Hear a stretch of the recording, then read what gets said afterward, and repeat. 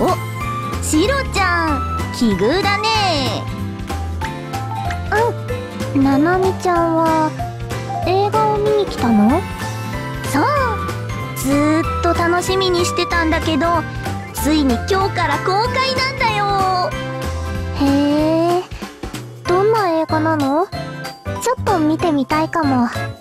あ本当に？絶対気に入ると思う。よこれまでのホラーの歴史を変えるって言われてる映画で。いややっぱりやめようかな。